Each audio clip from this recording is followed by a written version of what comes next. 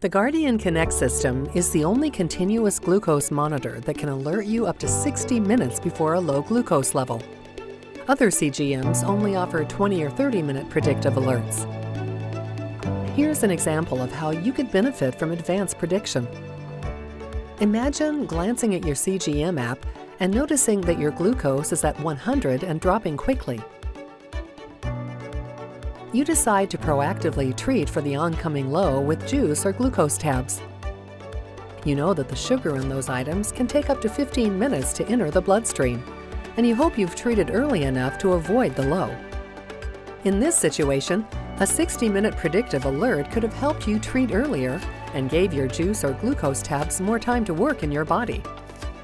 The Guardian Connect system is available for those living with type 1 and type 2 diabetes. To learn more about the system, visit medtronicdiabetes.com/cgm.